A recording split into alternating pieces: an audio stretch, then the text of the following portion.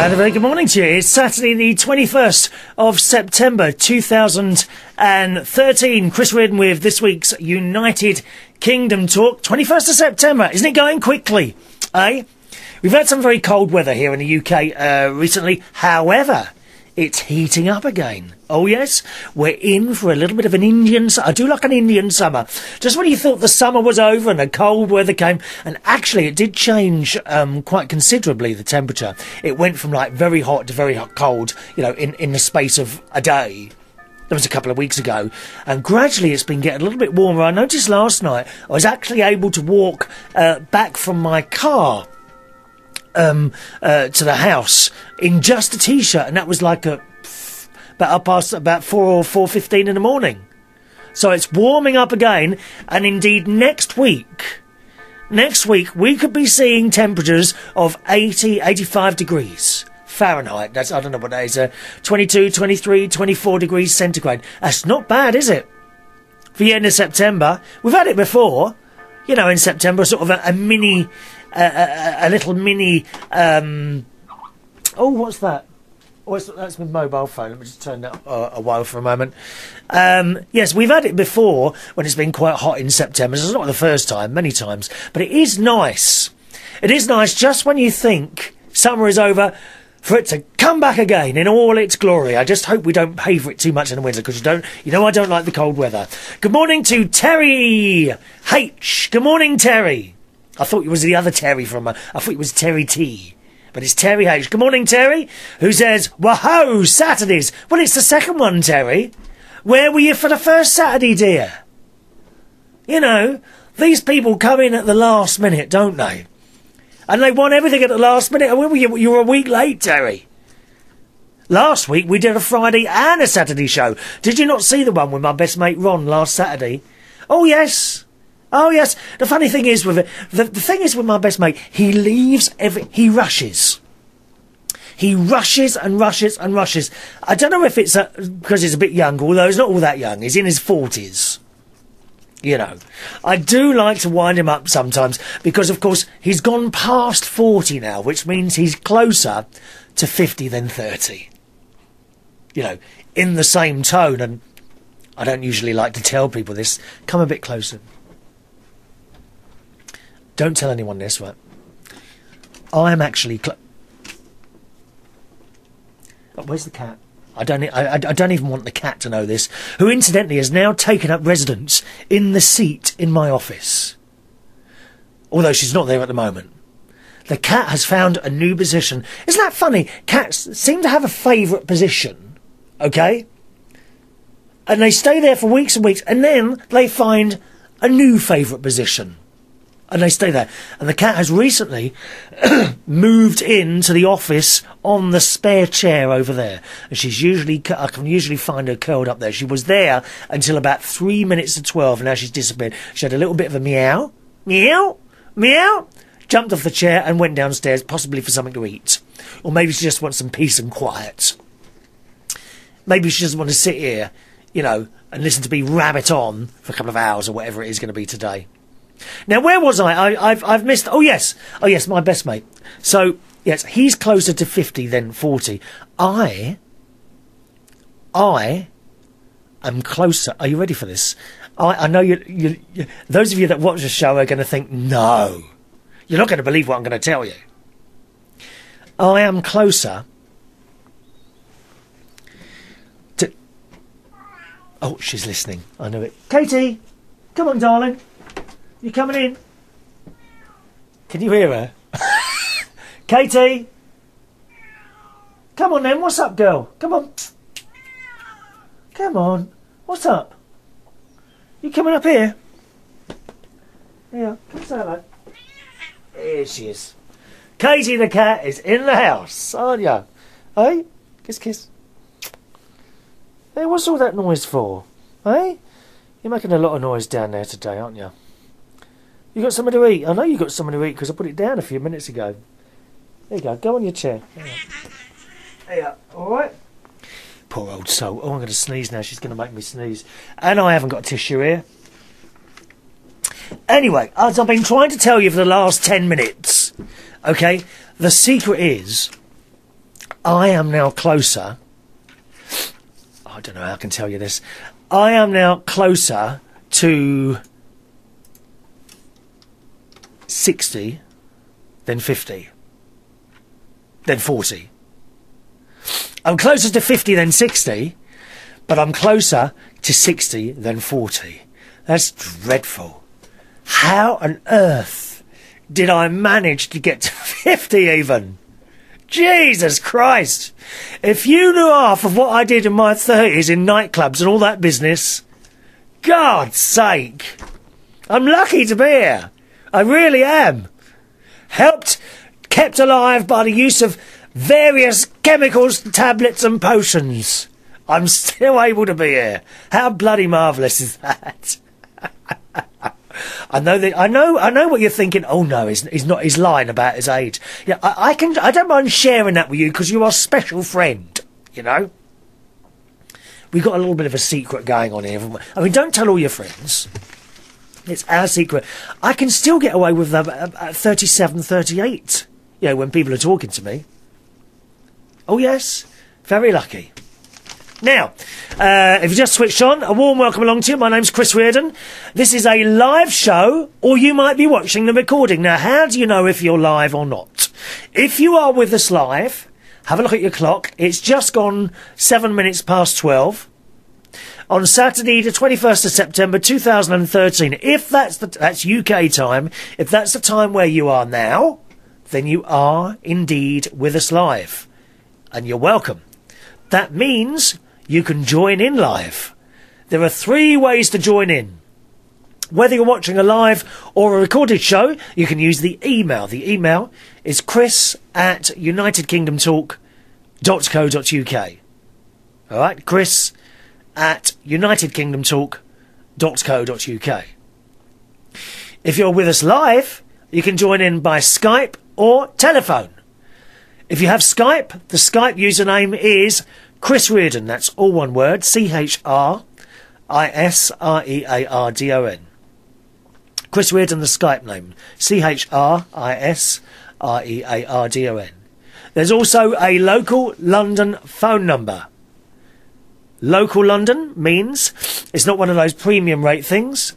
Local London number 020 8133 6358. 020 8133 6358. They're the two live methods of communication. All right. As I say, just coming up to uh, eight minutes past uh, midday. Apparently, Terry did watch the show on uh, Monday. And he says he looks nothing like Terry Turner. Well, I can see that, dear. I mean, he looked much younger for a start. Terry is looking a bit old and haggard now, isn't he? Which radio station is he starting up this week? Another one somewhere? Good old Terry. We all love Terry, don't we? And good morning to Mike, who's uh, in uh, on the Tyne, up to north near Newcastle, up to north. Who's with us this morning as well? Good morning, Mike. Nice to hear from you. Um, yes, I know you're disappointed that I'm on my own today, aren't you? Last Saturday we were treated treated to my best friend, Ron, who popped into the studio, who kind of texted me at four minutes to midday and said I'm on my way. You know, without actually mentioning that he was going to come in. So there I am, sitting here, four minutes, I'm all ready, you know, a stack of papers in front of me, one microphone, lights on, ball turning around, and I was ready, text me four minutes, and oh, I'm coming. You know, and you're rushing around then, and that is Ron down to a T. He's a rusher. No, not Russian, dear. A rusher. He's a rusher. He has to do everything at the last minute as quickly as possible. And it gets on my bloody nerves. It really does. If I've got an appointment somewhere, and sometimes he takes us in the car, okay? If we've got an appointment somewhere, he's like, oh, I'll take you. He comes in. And if it's like a two o'clock appointment, I like to be somewhere a good half an hour before the appointment. So if it's an hour's journey, I'll probably leave it two hours. Oh, you can get to the place, and if you're too early, you know, you can always find something to do. Perhaps you can pop into a, a restaurant, have a, meal, have a small meal, you know, a jacket potato with beans and cheese, something like that. I do like that. I'm trying to get off the dairy, though. I am trying to get off the dairy because I think dairy. If you're vegetarian, dairy can be just as bad. The mistreatment of animals in dairies is just as bad, believe it or not. Oh, I'm not going to go into it. Yeah, have a look on YouTube at all these different videos. Uh, you know, mistreated cows or something like that. Type in. Not now. Don't go away now, dear. I'm desperate for the viewers, to be honest. Desperate for listeners. And um, you know, you can go in for a meal or have a little look around somewhere, and then go into your appointment. And there's no rush or anything. He will leave it till the last minute. He will know in his head roughly how long this journey will take. Say the appointment's for two o'clock and it's an hour's journey. He'll leave at one o'clock. No time for any problems, accidents, anything like that. It's just totally impossible. It really is. And he's rush, rush, rush all the time. What other faults can I think of him? Well, I mean, where where do you want me to start? To be honest, eating. If we have a little meal out, he eats at the speed of light. So a meal might come because we're great fans of carveries. Obviously, I go to a carvery, I don't have the meat, right? I actually now, um, yes, uh, just a second. I actually now don't even bother having the vegetarian option. Okay? So when I go to a carvery like a Toby Carvery or something like that, we have them all over the UK, I'll have just the vegetables. A great big pile of potatoes, admittedly, we love the roast potatoes in Toby Carveries. Best part of the whole meal.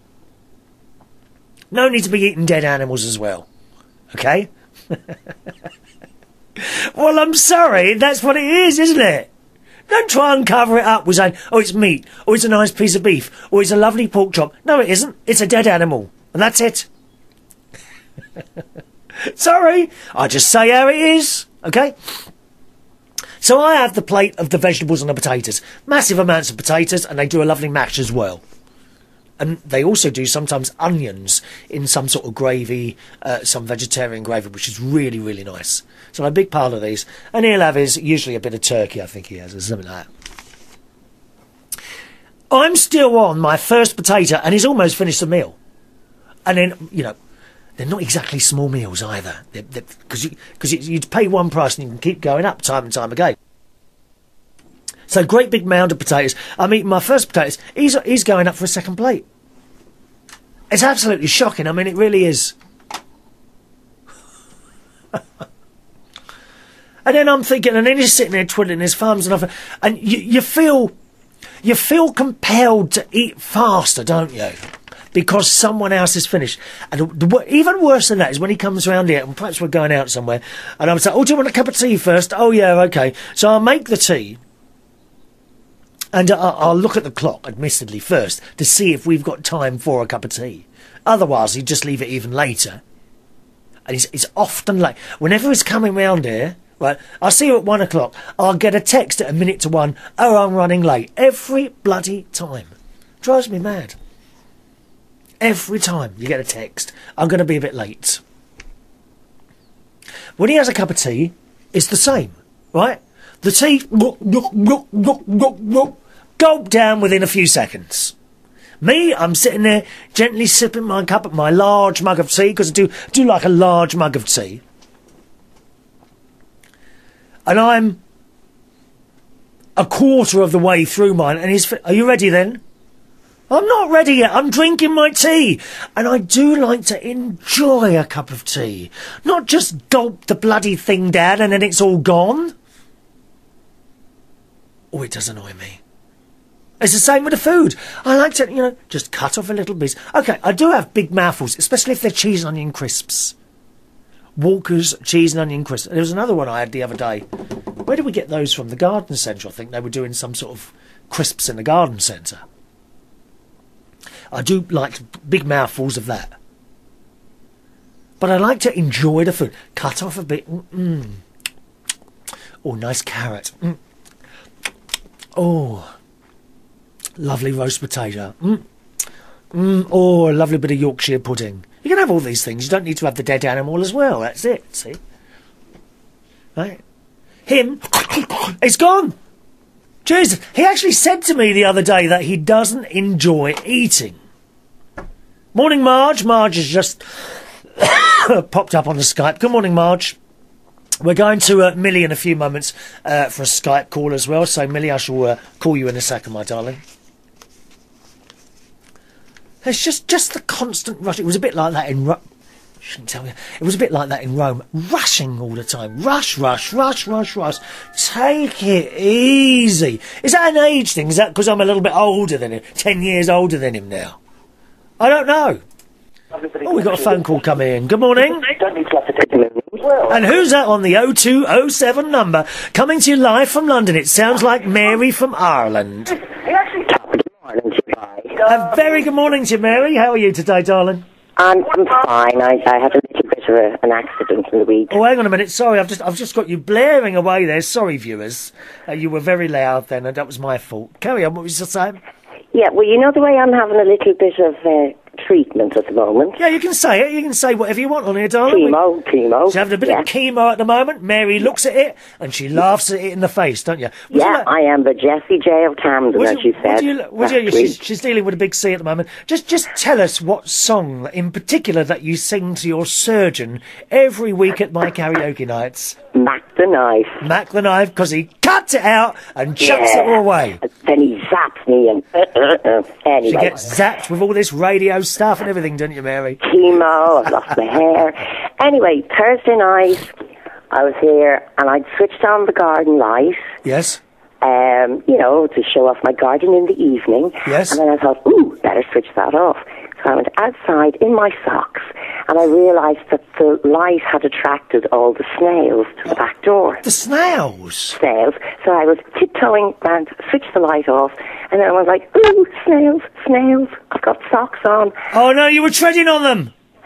Uh, yeah, and I went, ooh, and then I tripped over a piece of string that was attached to the hose that I used to pull up, to, to get the hose up to my roof terrace, Yeah. to water my plants there. Tripped over that, and I fell in slow motion Not into the on my knee, scraped all my arm down, and then I hit my head on the wall by my bay tree, and I broke a tile. Is that because you're too tight to turn the bloody light on out the back? No, I have switched it on. I'm switching it off. So then I have to go in for chemo yesterday, and I've got gashes and bruises the whole way down my arm before they even started giving me the chemo. Oh my god. I look like Herman Munster. You didn't fall into the snails, did you? Um, I, I managed to uh, kill one of the little. Oh, I feel so good because where I live, I've got um, all grass, you know, and trees everywhere. Uh, but there's a path between the sort of trees and the grass and my house, a lot like a long path in front of all the houses. Yeah. And there are certain times of the year where I come home at night and there are hundreds of snails coming across the path. I'm sorry, Mary. I, I'm Uh-huh. Well, you sorry. know one way to get rid of snails is when you have your hair cut. Well, Yes. it's a bit late for me now because I'm bald again. Sprinkle your hair yeah. Around the plants you want to protect on top of the, you know, the soil. It doesn't affect the plants, but when the snails get up there, they it sort of stings them like cactus. Does that work? Yes, it does. Well, it's it's. I think it's probably more humane than feeding them beer. I, I'm afraid I'm. I hate to tell you this, Mary. I put down the little blue things. Not good, is it really? Well, does not that not affect your cat? No, she she doesn't go near them. She, I I mean, I've been putting them down for years, and Oh. we've got quite a lot of cats around here. I had three cats at one point. I've only got one now. The neighbours, the neighbours got But you got this stray cat. Eh? Stray you cat me. I'm stray cat. One of your karaoke songs, Stray Cat Strut.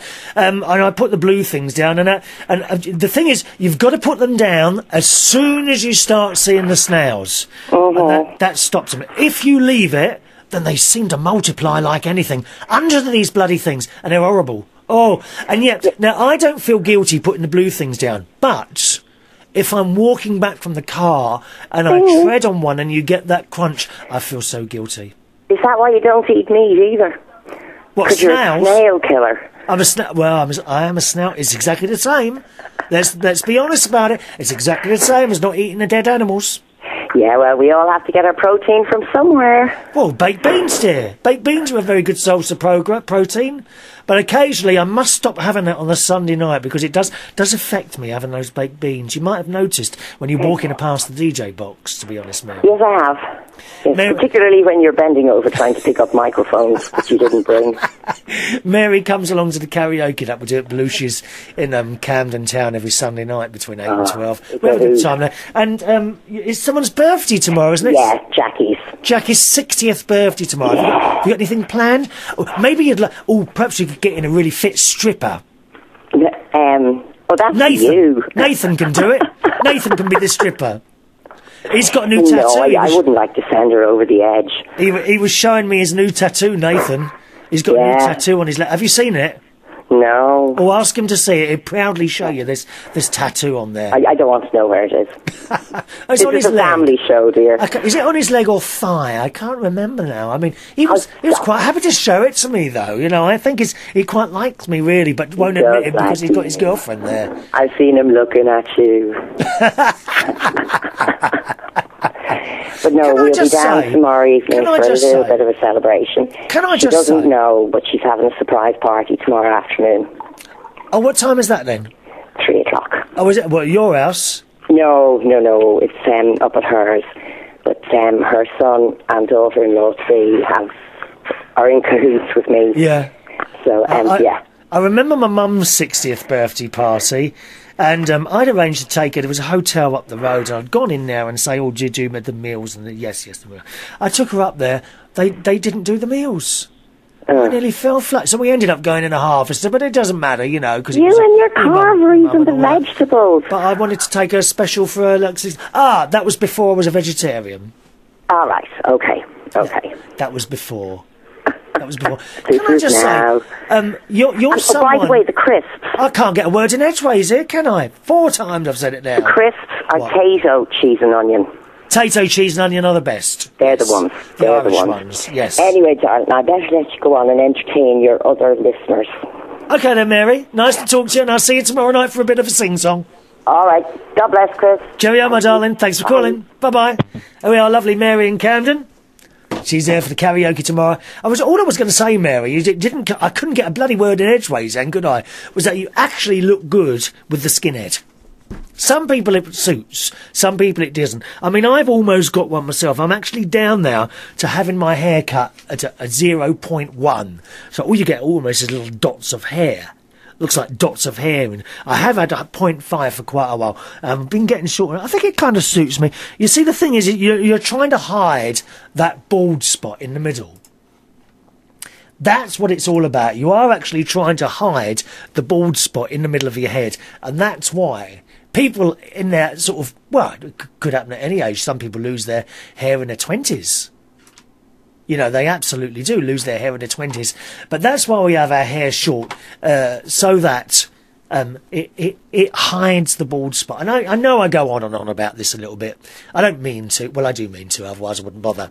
Uh, let's go over to the USA and uh, Millie in Minnesota. Good morning, Millie.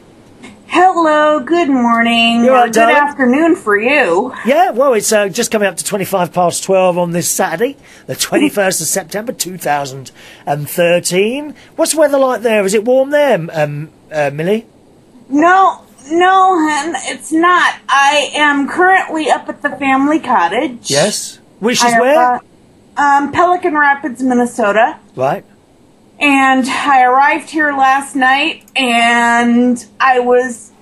Now, you have to take into account, it's after 6 in the morning here. Yes. Well, that, And- yeah, but it's it's better than the times I, yeah, that it was on before, isn't it? Right, it is. It is. But I had been I had been sleeping and my mother, bless her, she had a morning flight to get to because she's off on another one of her trips. Yeah.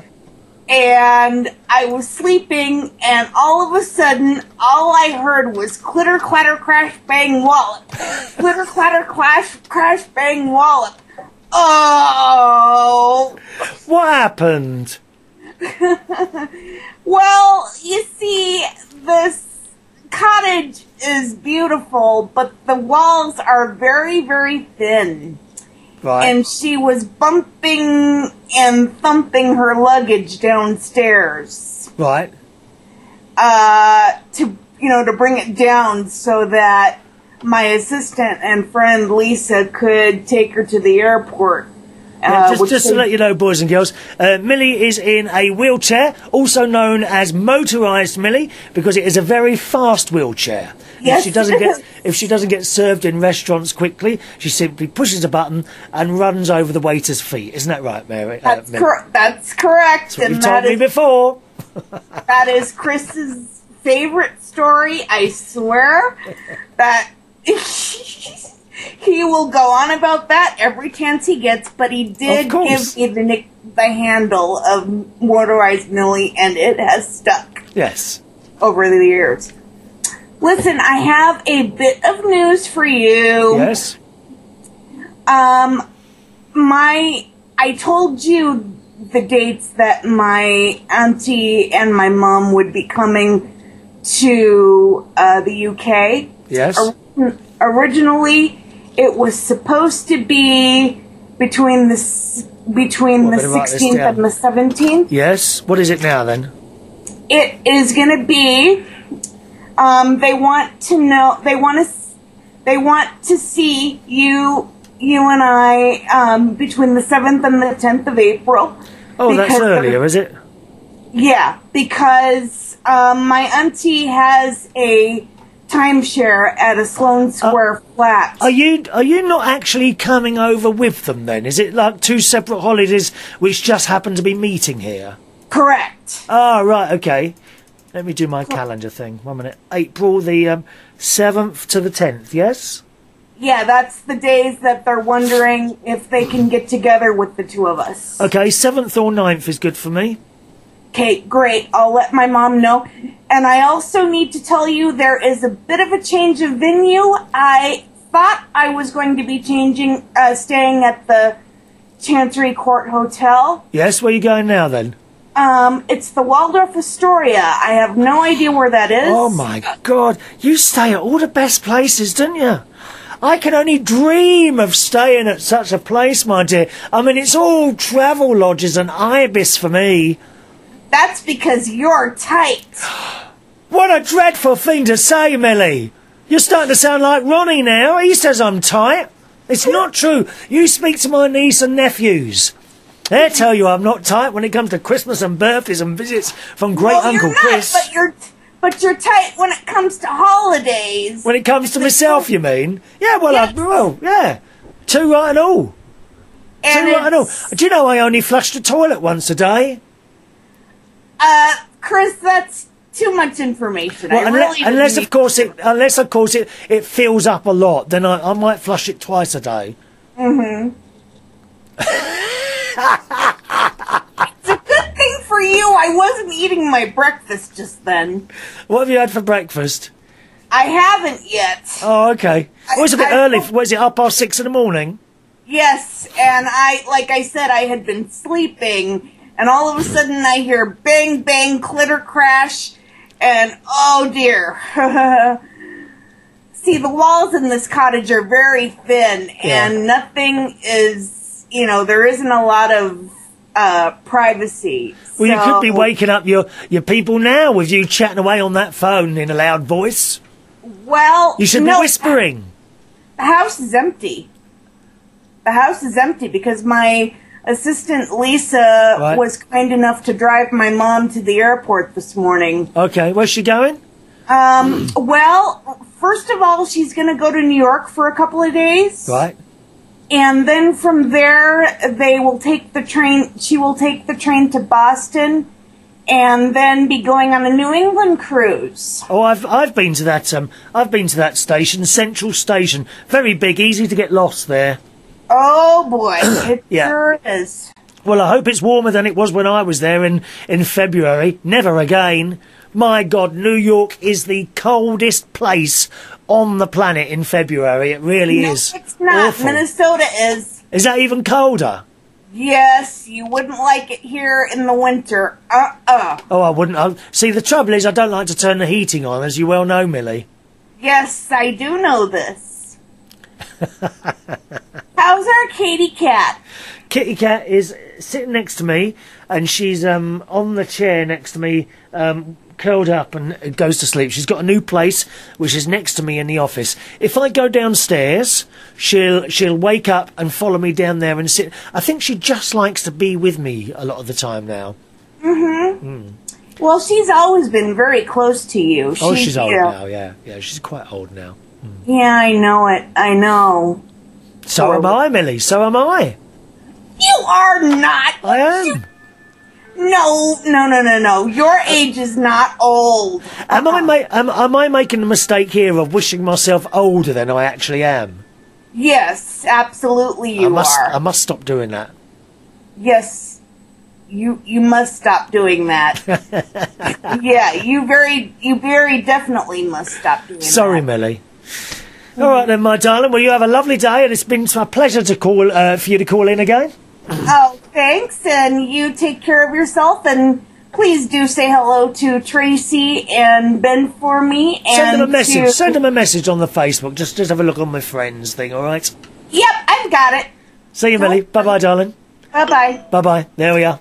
Millie in uh, Minnesota. Always a great pleasure to talk to her. Got to say hello to Robin this morning. Morning, Robin. Who says, Are you going to book me this year? And she put a little lizziedrip.com. Lizziedrip.com. Uh, Robin uh, is a drag uh, queen, female impersonator, who I actually worked with last night in the Black Cap, uh, which is a, a, venue I've uh, recently gone back to. Um, also, I have to say, and I, I left West Five, who are, who are actually with us this morning. Someone in West Five is listening this morning as well. So, good morning, West Five. Hope all is well there. Uh, yes, I've gone back to the Black Cap now. I was there. Um, if you're a regular uh, listener to the show, you'll probably know this already. I actually worked at the Black Cap for 18 years, uh, between 1989 and 2007, and I left there. And I've gone back there, uh, which is uh, rather nice, and it's strange. It's a strange thing going back into somewhere after you have been gone for so long. Um, the the crowd has completely changed. There wasn't a single person in there that I know from time gone by. But this is not unusual. You know, when you work in a place for a long period of time, like I, do DJing in this particular, I do, as you know, I do DJing, karaoke, and quiz nights. Um, when you are in somewhere, and I do tend to stay in places for a long time. I don't do like a couple of months there and then, or move on, a couple of months there. I do st- tend to stay in places for quite a long time. And when you when you do that, you do see the crowd constantly evolving, always changing. And the first night back I had was last Friday. So last night was was the second one back, and it's lovely. It's, there's a particular smell about this place as well. It's not an unpleasant smell. Just, just I call it the black cap smell. And you walk in, and and it's and it kind of it's there. The smell. The place is steeped in history. So much history in there, and it was so nice going back in there to be asked again to go back there to try again, to, to, to give it another go. Because, in all honesty, it hasn't had a good time over the last three years. Not because I've left, you know, nothing to do with it. The fact that I was there, that I left. It, it, it's had a hard time over the last six or seven years, I would say. In fact, it got to the point, uh, at some point, I think, where it would have closed. We were all surprised that it didn't actually close. However, I've gone back there just the one night a week on a Friday. I was doing four nights a week uh, uh, uh, a while back there. I'm, I'm doing just one night a week on a Friday there, and it was very nice. It's very nice. And the thing is, the secret to to doing DJing as a long term thing, you don't need to be the best. I'm not certainly not the best DJ in the world, okay? But I will try and evolve with the crowd. Oh, just a second. We've got another another phone call here. Let's see who this is. Good morning. Who's that? Good morning, Chris. Mr. Cullen from Newcastle. Oh, good morning, Mike. I'm just just doing my little DJ chat there. Let, let me finish this and I'll come to you. Stay on the line, Mike. All right. Okay. Stay on the line a second. Yeah, and the thing is, thing is, if you want to be a DJ long term, you must evolve with the crowd. If the crowd's tastes start changing, you must stay with it. You've got to move on. It's no point staying doing the same DJing that you did whenever you started and keeping that going because you will fall out of favour. No question about it. And I've seen this countless times where excellent DJs, excellent DJs of their time lose jobs because they won't move on with the crowd. My my thoughts are simple. Give them what they want. If they are asking for a particular type of music, that's what you give them. Okay? Don't carry on saying, well, this is what I do, take it or leave it. I've faced lots of people like that, I'm afraid, who have lost jobs over the years. You must constantly evolve with the cloud. Now, at the moment, I'm in a fortunate position where all the managers I work for leave me to it. It can be very, very difficult sometimes for a DJ to work if, on one hand, the crowd is telling him they want something, and on another hand, management are telling them that they want something. And you are stuck in the middle. I have been in that situation myself before. And you have to leave. You simply have to leave. I've left through over the years one, two, three, three or four. I think three or four venues where it became completely impossible because you were trying to give the crowd what they were asking for, but the manager wanted something else. And what can happen sometimes is that manager, and I don't have any of those managers at all at the moment. Well, one a little bit. one a little bit, but he's not too bad, okay? Um, and it just becomes impossible.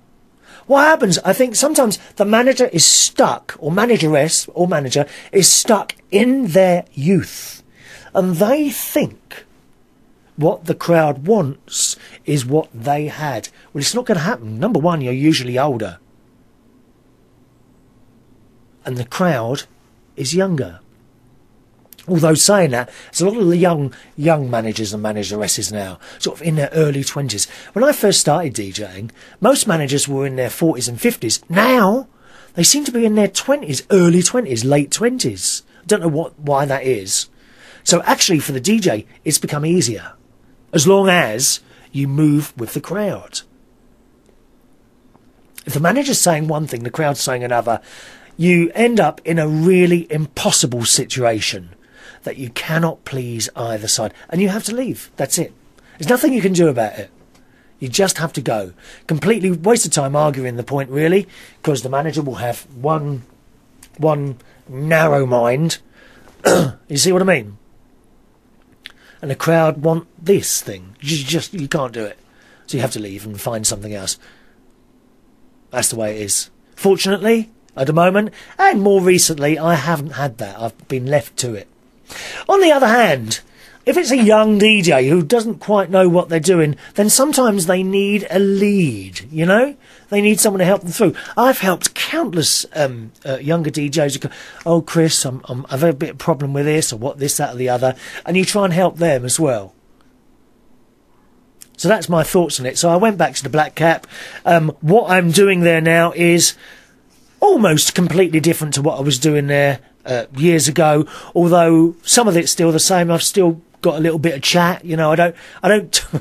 it's not like a chat show coming out to my discos. You know, I don't, I don't talk all night and play the occasional record. It is the other way round. I promise you. And I tend to stick to the chart stuff. Anything that is or has been in the charts. The big difference playing out now to what I was playing years ago is that I no longer mix the tunes together. I have found that the attention span of young people, instead of being like 10, 15 minutes long, is a very short attention span. Two or three minutes. They don't want more than two or three minutes of a song, and they call them songs now, not records. Mike, I come to you in a second. I'm sorry. I'm, I know I'm going on a bit here. Not that I usually do. They want they they instead of want they they want two or three minutes of a song, then they want the next one. Not only that, right? Because I know what you're saying. Some DJs now, where you can mix that together. Not only that, they want different beats, different. Um, they want some fast stuff and some slower stuff, and some fast stuff and some slower stuff. They want this type of music, this type of music, and they want it all in the one night. So you can't mix anyway. So that's the big difference. They now want the stuff that they have heard on the radio or watched on MTV. They want that version of the song. They don't want any remixes. this is what I've found, and that's what I've gone back into doing the Black Cap. So I'm doing now radio edits of stuff that they've heard and seen on the telly or the radio. There's no mixing. And they come up and they ask for what they want, and generally, 99% of the time, they get it. I take requests all night long. I've come across DJs who absolutely refuse point blank to take requests. I've come across DJs who actually seem to detest the very audience that they are playing for. How on earth do you think you can do a job like that? You can't. You've got to get on with everyone. I've come across I've come across racism by DJs. I had I had a DJ once come up to me and say, um, uh, "Have you got anything that hasn't got a black man singing in it?" I mean, how racist are you? And you're doing a job in front of all these people. It's disgusting. Absolutely disgusting. No. You've got to get on with people. You've got to like people. You're not the be all and end all of it. The DJ is not the most important person in a pub. Everyone is of the same importance. A pub cannot run without a glass collector, without a cleaner, without someone to scrub the dirty old toilets out when someone's had an accident. All these people make up a club or a pub. And the DJ is not anywhere more important than anyone else. So very nice going back to the Black Cap. Sad to leave another venue, but sometimes you have to move on, and sometimes you can go back at another point, can't you? All right. Okay, Mike, I'm ready for you, baby. Speak to me. Hello. Did I make you wait a long time? Uh, that, no, no, that's okay. That's okay because I mean, you know, I couldn't agree more with what you're saying. I mean, I was a DJ from from the age of 15 to 34, which was last year. And, Are you um, 34 I- now, are you? I'm sorry. Are you 34 now, Mike? Uh, I'm 35 now. Oh, okay. But um, yeah, just go back to what you were saying. I mean, I couldn't really agree more with what you're saying because um, back last year when I was doing it, I, you know, there was I'd noticed a, a big change in in sort of playing these long Yeah. sort of remixes Yeah, um, yeah, yeah. than than than the, playing the, radio the whole edits, the know. whole the whole joke of it really Mike is um uh, I'm I'm very lucky that a couple of uh, uh they're not record companies they're what are they called promotion companies you know Mm-hmm. so if you've got a record you go to them please promote that they send it out to the DJs not on CDs anymore but on um it's, it's all online you have to download everything and I get all this music for nothing which I'm very grateful for and thank you very much you know Mm-hmm. to the companies for doing this but you will get the radio edit usually and 10 other mixes. Right? I Yeah. do not play any of the mixes anymore. If I try and string two or three records together as a mix, that's Mm-hmm. it. You lose the crowd. They all go and sit down or go to the bar. Which is not Yeah. necessarily a bad thing, you know. If the bar's gone quiet, um, I'm quite good at noticing that, and I'll put on a bum record. Everyone moves off to the bar, buys a drink. That's what it's Yeah. about. They have to sell their beer you know. Mm. But I just don't play the mixes anymore, Mike. I play the, the original radio edits. It's a, well, I mean, I can I can see where you're coming from because, you know, um, like I said before, back when I was doing it, it was it was all just radio edits with me. Yeah. And you know, people if if you play like a remix of you know something by Rihanna or something like that, which is about six minutes long, they get bored in the first That's three minutes right. and go and sit That's down. right. Now it never used to go be. to the bar and get a drink. Yeah, it never used to be like that, Mike. No, no. No, no, they would be quite happily dancing to the entire six minutes and wondering what's coming on next, and you'd mix it in seamlessly, and the beat would carry on. Now that just doesn't work anymore. I just, uh, you know, it's it, it's all changed, and and you know, from from doing a doing a venue in Durham to doing sort of, um, you know, these mobile discos and stuff like that. That's why I moved into doing birthday parties, weddings, all that kind of thing. So Oh, I could yeah. I could just play what I wanted to play, but at the same time, like you said before, people come up to you and they dictate Yes, what the DJ plays. that's what they're playing for. That's what they're paying for.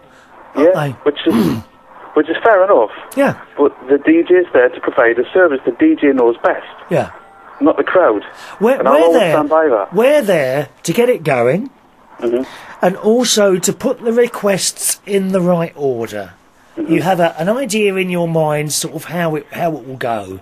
Mm-hmm. Um, you can't play any rec any. I keep calling them records. They call kids call them songs now. You can't play any song after the previous one. Can't be. It has to kind of fit in somehow.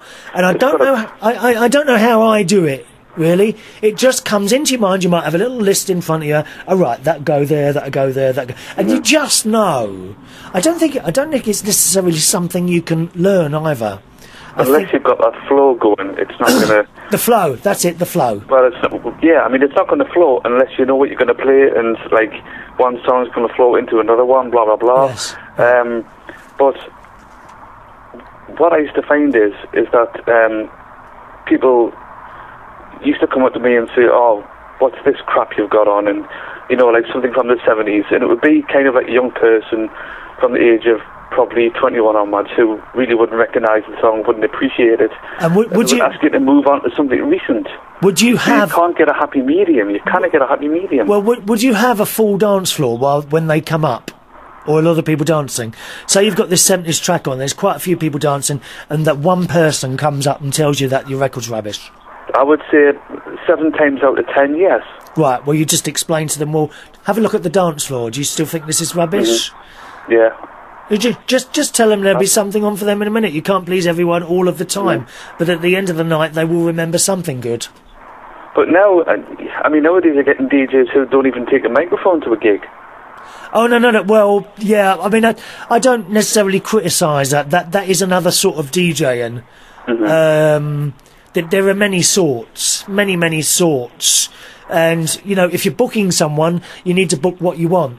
You need Yeah. to say in a cabaret venue, for example, or a party like you're doing, birthday parties, weddings, and that. Yes, you need to be able to use a microphone. In a club, Exactly. Yeah. in a club, you might not necessarily need Very to. minimal um, Yeah. in a nightclub. Yeah, You know. and certainly in a bar, like Yeah. sometimes they have promotions on. Sometimes I've been to venues like um, where the bar's gone dead. Mm-hmm. And they say, "Oh, can you pick up the mic and tell people that for every two drinks they buy, we'll give them a free shot?" And you tell them Yeah. that, and everyone goes to the bar. So what it's all about selling money, uh, selling uh, uh, drinks as well as you know doing good music, and you need to, you have to become part of that. The DJ must become part of that, not separating himself from everyone else because he thinks he's got blood his gift. You know, Yeah. But as well, you've got to be a people person.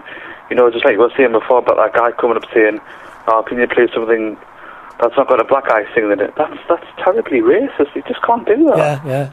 This was a DJ. This was a DJ. It really, it's insane. Have you got something without anyone black singing in it? Exactly. That is so You know, racist. how can you say that? How can you actually say that? It's unbelievable. It really But, is. You know, what can you do? You know, you you can't chuck them out, can you? no. But I have been um, It's- it's just- in a venue I where ju- I just felt- going on. I just felt it was a shame that that mindset was there. That Exactly, that mindset was actually in this person's head. It was it was about a year ago that happened. It Happened twice actually. The same person, same person. Anyway, yeah, fights in clubs. Well, I mean that's always happened, doesn't it? It's usually after a girl or someone's stolen a drink Yes. or or picked up a wrong glass. That could happen. So easy to pick up a wrong glass. Or somebody's handed something in. Yeah, yeah. Yeah. yeah, I get that as well. Yeah, I just get that all the time, and, Oh, and Always you know, surprises. Always surprises me when you say things have been handed in. How many people leave a mobile phone or a wallet on the table and then come up to you later and say, "Has anyone handed in a phone or a wallet?" And you say, "Well, where was it?" "Oh, it was just on the table while I went to the toilet." Mm-hmm. How many times have I heard that one? At least once a week, at least. really, How st- I mean, you know, I'm sorry, how stupid can you be to leave something on a table when you go to the toilet? And it doesn't matter where you are in the world. You know, Yeah. you, you must never, never do that. people man, they just get so in, intoxicated that they don't know what they're doing. Does, doesn't seem to happen in Rome. When I was in Rome last week, I don't know if did you hear the show at all last week? Uh, I watched most of it last week, but it was keep it was keep stopping and going, then stopping and going. So I just got fed up with it in the end. So I'll watch it back. Oh, what was that? The um, was that the live one? Was it? Yeah, the one with Ronnie in Oh. it. Oh, okay. I don't, I don't know why that was. I think it was your end because we didn't have any other complaints. He was at Morning Old Queen last week. Uh, uh, uh, last week, wasn't he? Are you on a little? s- Are you on a slow connection there, or what? what No, um, I'm on 30 meg broadband. Oh, that should be all right. Yeah, that should be Mm. all right. I was just saying, I was just saying, Ronnie was a was a bit of a Morning Old Queen last week. Oh, she moans all the time. That one's here. Gets on my bloody nerves. It does. It's all the rushing around he does. It does annoy me. Rush, rush, rush all the time. Oh God. he must have a take it, fast-paced life, Chris. take it easy, man. I reckon we should move on. Cadbury's caramel. Cadbury's cat. Yeah, take. Mm, the rabbit. Take here. Yeah. Cadbury's chocolate. Do you eat much of that? Um, only if I um, take a hypo. Um, for anybody who doesn't know what a hypo is, um, basically a hypo is hypoglycemia, where your blood sugar um, goes to a level where it's below normal. So like Oh, have you got the um? Have you got the diabetes? Have you? Yes, I've had it uh, since I was 21. All right. Okay. Okay. Can't be cured by a change in diet. No. Um, not not mine. Um, mine's mine's type one, so it can't be cured anymore. Um, Oh, you know, right. the the the pancreas is shot, so to speak. So there's no way it can be cured. Um, Is that injections or pills? I'm on injections. Oh, okay. Huh? I'm not being horrible about one. What's she say? Is that the girlfriend? Tell her to shut up when you're on the phone. I know. Shut it. Hit her. Hit Throw something at her. Hit her. Shut up, you old bag. That's Cordelia. That was on last week. Good morning, Cordelia.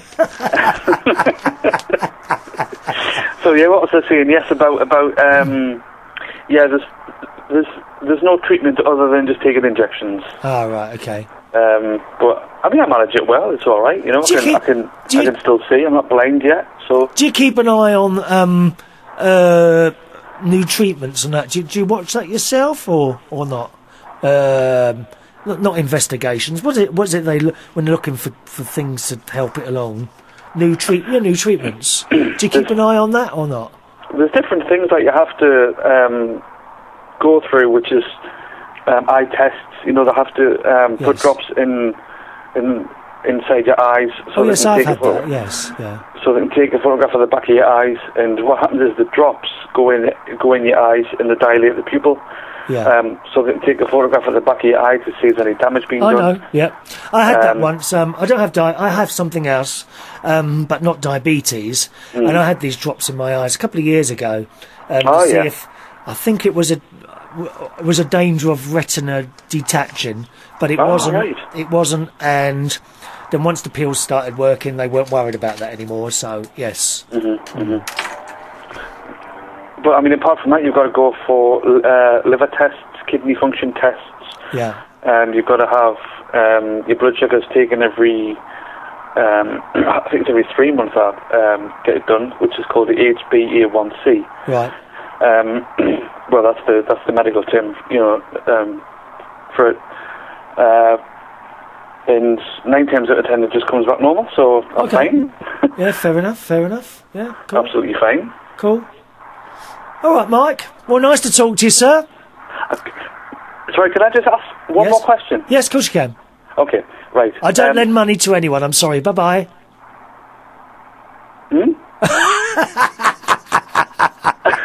Hello. I said, you said, dude, can I ask you a question? I said, yes, you can. But no, I don't lend money to anyone. Bye bye. Go just on, Mike, what? you. I mean, God sake, you've been DJing since I got to know you back in 2004. Yeah. How how do you think how do you think it's changed from when you started doing it up to the present day, 2013? What what what aspects have changed? Um, What's been a major change for you? Well, the music constantly changes. Yes. okay, and you need to keep up with that, and you need to keep up the way that it's played. For example, I said to you I was mixing. I started on seven inches, moved on to twelve, moved on to CDs, then I started mixing, and now we've Yeah. almost gone back to playing seven inches again. It's radio edits of many different types of music rather than one type all night long. Mhm. So that's one thing. The other thing is the computer. You know, Yes. Yeah. I when I was doing mobile discos, I had ten boxes of records that I would mm-hmm. carry around in a transit van from place to place, playing and a couple of record players and all that business. Now all this and more is mm-hmm. in my little Lenovo laptop. I have God knows how many hundred boxes of records on there you know, and, and and of course that that is also the mixer. Is everything in that one laptop, so it's a lot easier to move from place to place. It simply goes over my shoulder and back in the car, and comes back out of the car and sits in the house with me at night. That's It's it. remarkable how much things have changed Oh from yes, yes. you know when I started doing it in ninety. Oh my God, when was I? Fifteen. Ninety-three. right, yeah. I started um, last year. 63, 73, 83. I started in 83, 82. I think 81, 1980. 80 or 81, yeah. Quite a while now, isn't it? I was only two then. Eh? Was you two? I was only two. Well, you could have come and helped me carry the boxes in and out. not at that age. Surely not. oh, Chris, it's been great speaking to you. Yeah, you to- too, Mike. Good luck, my friend. Nice to chat to Okay, you. then. Thanks very much, Chris. Cheerio. Bye bye, Mike. Bye bye. Bye now. Bye. I'm just telling you, yes, um, also with us today is uh, Robin, also known as Lizzie Drip, who does an excellent drag show. I was working with him last night at the Black Cap. Fantastic. Great atmosphere in there as well. I must say, and uh, I'm very pleased to be back at the uh, Black Cap on Friday night. So if you if you ever want a night out, you want a little bit of a why am I still holding the phone? If you ever want a night out, um, you fancy a little bit of a dance and a cabaret show as well, which was usually a, either a drag sing, a drag queen or a singer or a mixture of both.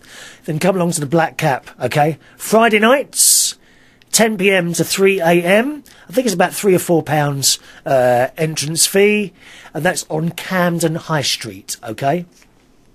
Fairly mixed in there, gay and straight. All right, everyone's welcome once again. Friday nights at the Black Cap, 10 p.m. to 3 a.m. Me doing the music and some sort of cabaret artiste as well. If you want to book Lizzie Drip, her um, website is lizziedrip.com. Have I got that right? Hope so. One minute. lizziedrip.com. Good morning to uh, my nephew Jimmy Butler, who's just finished work and is also with us this morning. Good morning, Jimmy. He does um, car bodywork. You know, rubs down bodywork and does the painting and all that business. Very clever, very clever. Don't forget the email address of the show, chris at unitedkingdomtalk.co.uk, chris at unitedkingdomtalk.co.uk. Someone sent in a little voice message here. Uh, John Springate, who is also a singer in Port Talbot in Welsh, Wales in from the valley. Are you from the valley? He sent in a little message, on, which unfortunately, can I listen to this before? Yes, I can actually. Let me just listen to this before I play it because I don't know what, what's on it. Or maybe I can't. No, I can't. I'm just going to play it out. I could if I plugged in there. Oh, I can't be bothered. Let's just play this little message from John and see what he's got to say. Is there nothing? Oh, maybe there isn't one. Oh, hang on. No, I've got the, got the wrong button here. I don't know what I'm doing here today. Yeah, try this. Does this work? It's John Springate here. Just to let you know, I'm alive. I'll speak to you soon. Bye for now. Is that it? John Springate there. Another one of my showbiz celebrity friends. He used to play in the Glitter Band. Do you remember the Glitter Band? Yes, that's John there. He used to play. I think he's with us this morning as well. Thank you, um, uh, John. Hello to March, who says on the subject of um, oh, he, oh, he's ringing in now. It's ringing in. Good morning, John. Good morning. How are you? All right, I'll have to decline your video because it might use too much bandwidth. Okay, fine. No problem. Good morning, John. You are live on air. How exciting is this? Well, yes, it's been a long time since I've been on air. Take, takes you back to the days of Top of the Pops. Ba ba ba ba Oh, da da yes. da da da. What was it like being on Top of the Pops, John? Very tiring. Was it? Because when we saw Top of the Pops on the telly, I mean, I, I was always watching that in the seventies and eighties, and then I kind of, it kind of lost its way. I think eh, towards the end of the eighties, and everyone was miming then, weren't they? Yeah. Were- were when we when we were doing, I mean, our last, I think I remember our last Top of the Pops appearance as the Glitter Band was 1977. Okay. Um, and uh, we were doing people like you and people like me. Now this is this is a good uh, uh, you know sort of example of the time because punk came in because we were doing stuff which was very sort of Radio One friendly, you know, and uh, I think we you know sort of lost the plot. But but also the audiences at Top of the Pops were just so bored. If you if you look at old Top of the Pops is around about the 1978 period, Yeah. you you'll see you know you'll see people just standing around. In fact. Uh, the, the guy who was actually producing the show, I remember came down once and he said, "Come on, this is your show. You should be enjoying yourselves." And everyone was going, "What?" You know, they were just they were just so bored with it. And then you you know, then then punk came in and it just wiped the floor. You know, it just Right. wiped it all away. And suddenly it, it did perk up. You know, it became a bit more interesting. And um, you know, a lot of bands wanting to play live and stuff like that. So it just it gave me a little bit more of a you know a boost, if you like. You know, so there we are. were, were you at the time? Were you singing all live, or had miming started then? Because because it, wasn't always there miming, was it? Well, it, well, it was actually, but what the what happened then? You see, if you remember, in those days, the the, the, the unions were very strong, and the musicians' union um, had a criteria which meant that if you were doing Top of the Pops, you had to go in and record a backing track the, the day before to show that you were the musicians on the record. You Oh, see, okay, yeah. You know, so for us, it was a, a, a total annoyance because I, I remember once, I mean, we got Top of the Pops and we had to come down from Glasgow the night before, down into the studio in the morning, 7.30 in the morning to record. The, the funny thing about all this was we used to have this um, representative from the Musicians Union Yes. and he's, we all called him Dr. Death. His name was Dr. Death. Don't know how you got the name for that. But anyway, he used to sit there and listen to the session. I mean, you've got to remember these records took about two or three days to make, and then they wanted us to do it in three hours. Yeah, you know? yeah, yeah. So, um, so anyway, we do the track, but what would generally happen was he would, ha- you know, before the end of the session while they were mixing, he'd go up to the toilet, and what they do is they switch the, they switch the tapes. And they said, you know, right, well, this is the backing track, and it was the backing track of the actual record itself.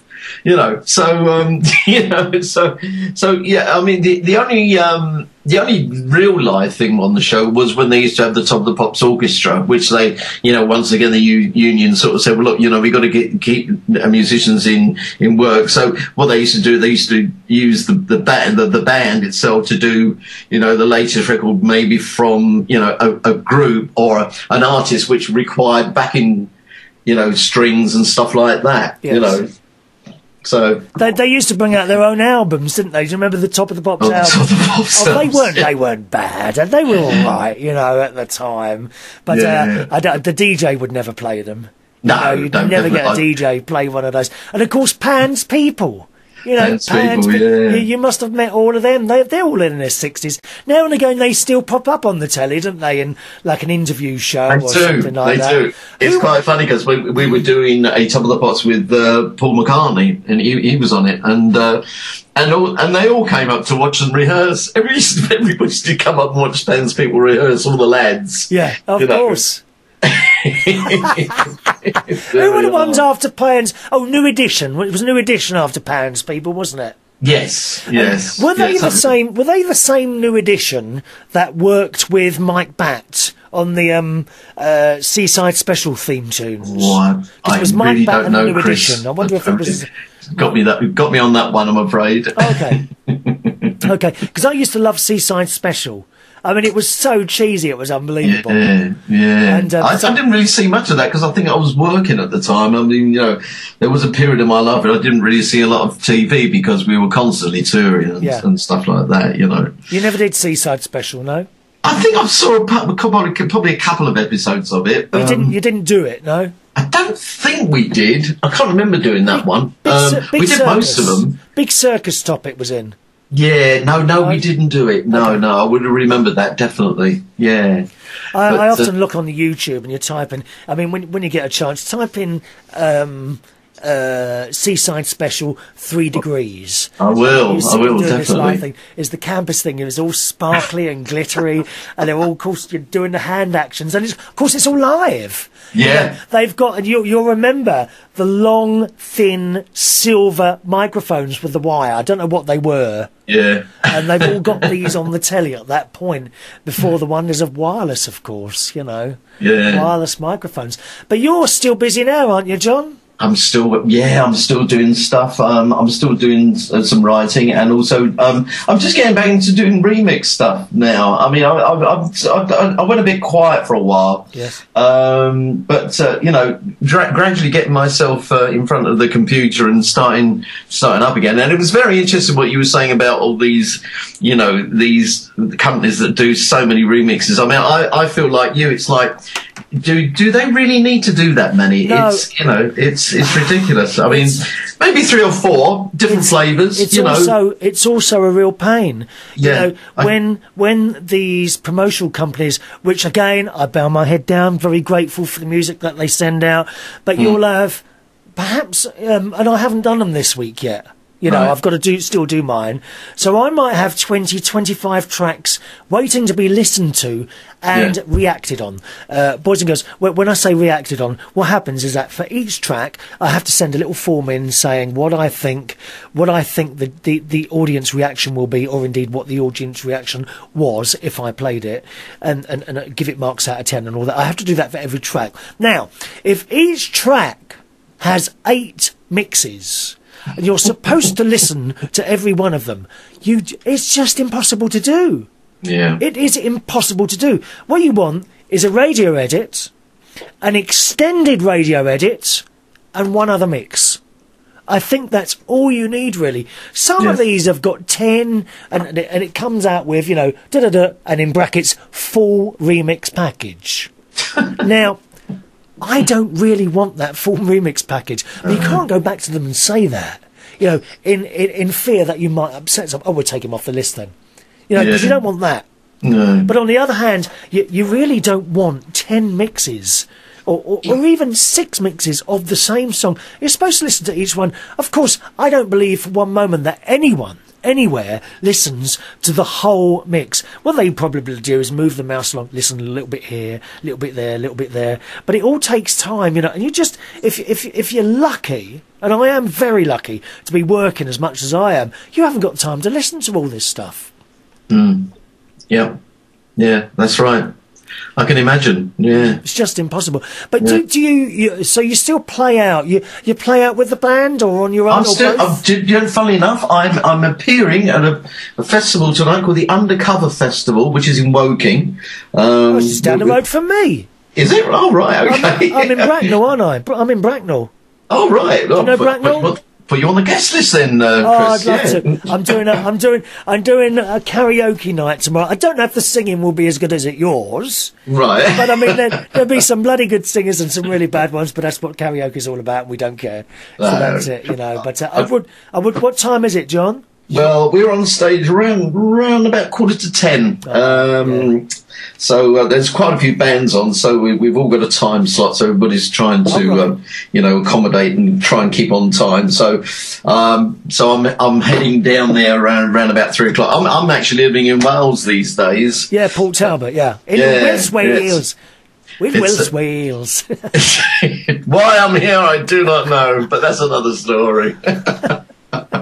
who else is on? Who else is on in Woking? In, in Um, Woking? there's nothing really of any sort of real name value. Um, I, think, I think there's one or two sort of uh, ex-punk bands from the 80s. Right? Um, and I, I've got. I'm just trying desperately look for the schedule Okay. now, but I haven't got it. I haven't got the, the list of the bands, unfortunately. But there's quite a few bands on. I mean, it's, it's, it's uh, I think it's a two day event. Right. Um, and uh, yeah, it should be should be good. Should be a lot of fun. Lovely. So um, looking forward to that one. It's good. That's brilliant. I tell- did you did you know Chris Parker from the Hollies?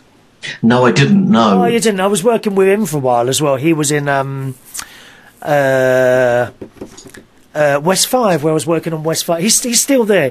He does. Uh, the, they have a piano bar in this place in Ealing called West Five. All right. Where I was working on Fridays, and he Yeah. plays the piano in there, and he is the best.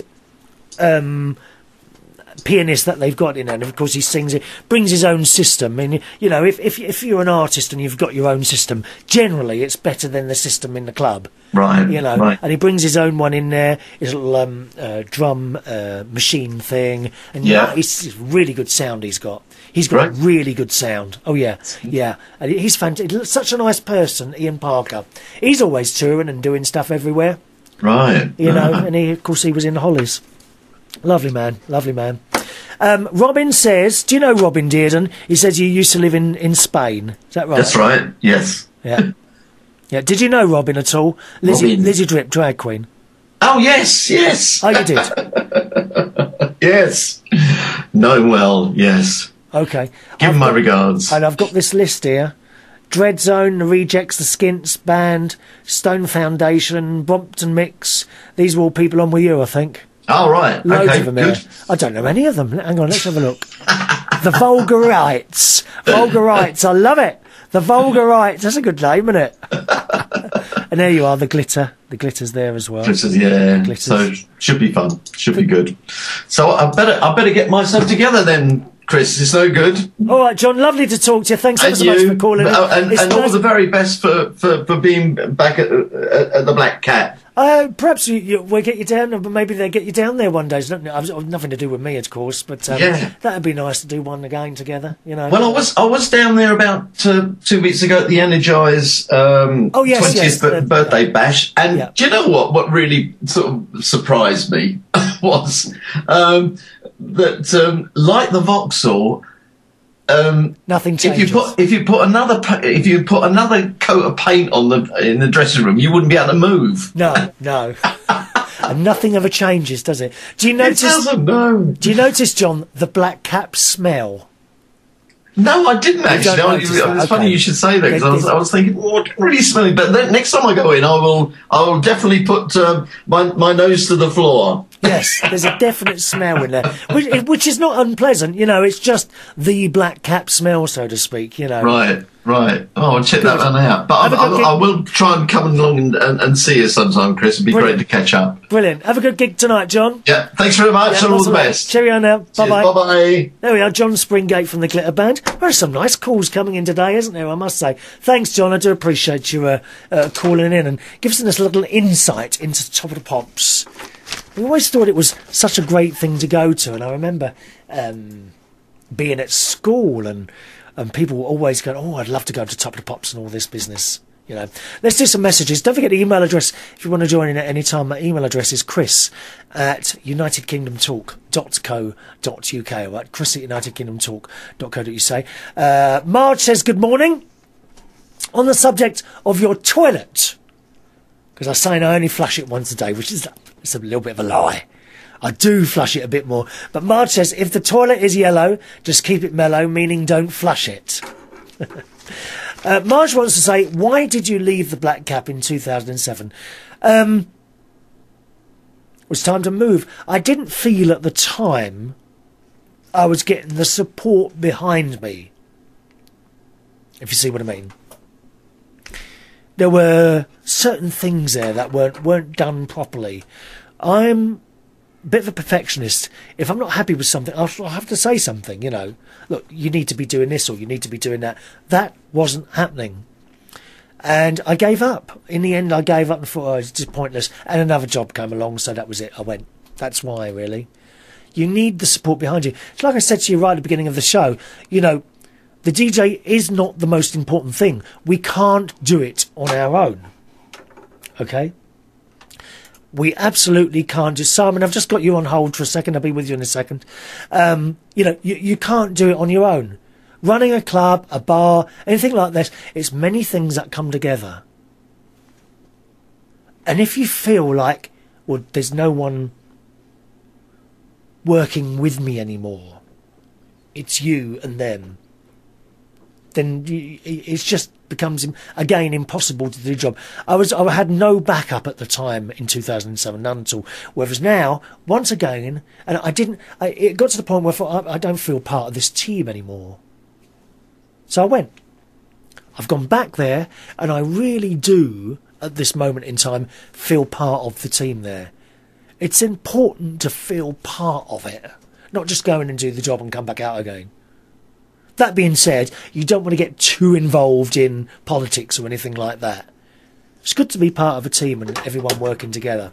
And I certainly do feel like that at the moment. Let's go over to the Isle of Wight. And um, Simon's, I think it's Simon today. Good morning, Simon. Hello, how are you doing, Chris? Hello, Simon. Is that a picture of Tina Turner with you there?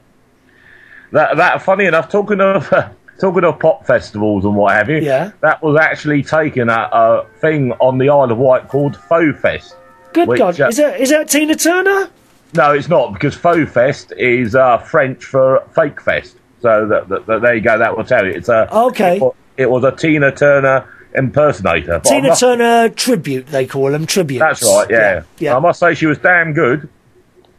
Yes, a lot. Most of them are. Um, Yeah, there- there's another she one. was on stage and sort of strutting her stuff both in. I, I, I guess. I guess if you're um, an impersonator or, or what have you, a tribute, you, you obviously study your subject, don't you? Yes, you do. You mu- you must do, But, yeah. But no, when she was on stage strutting her stuff, she um, blimey, I say you, she could she could have been her, you know. I don't. I don't think it's just. It's, it's not just the way you sing.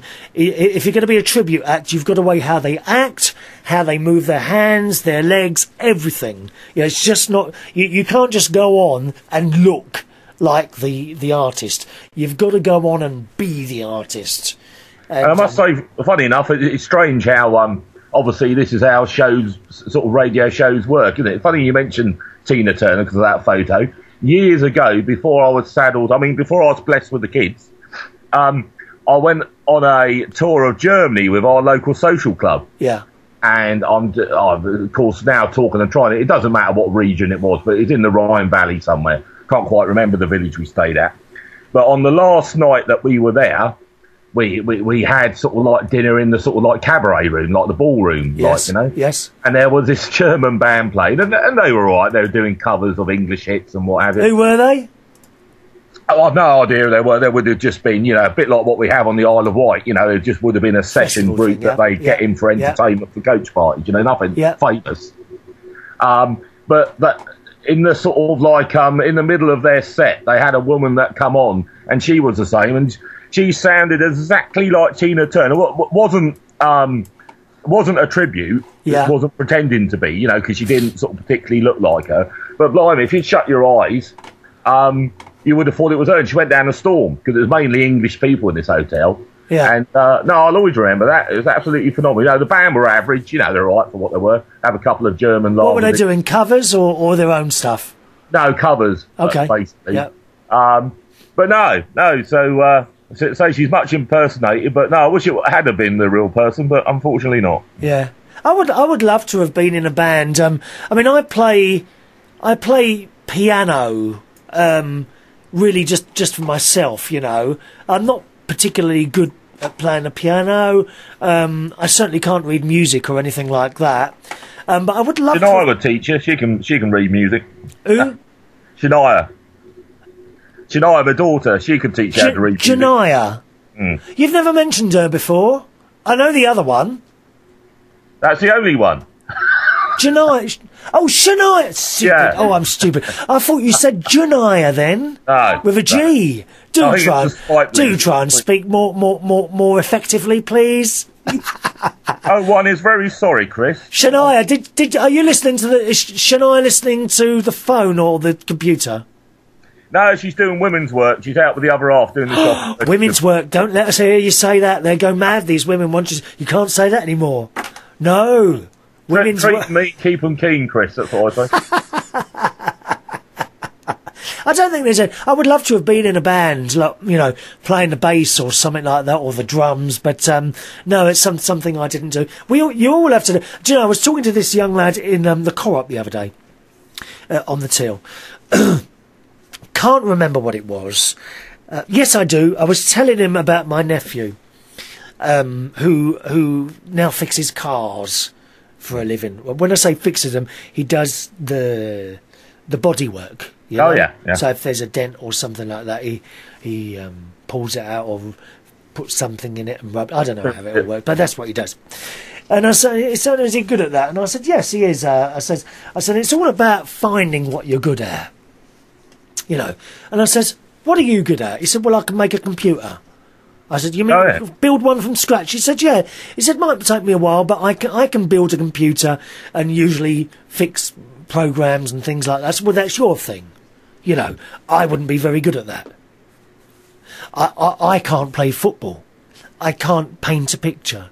You know, there's things I can do, but I can sit here and talk.